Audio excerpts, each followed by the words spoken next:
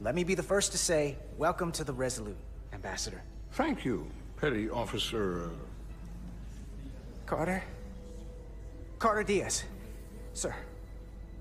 I am pleased to meet you, Petty Officer Carter Diaz. It appears I have you to thank for my safe arrival. Your assistance arrived not a moment too soon. Well, it wasn't all me. I got some help from upstairs.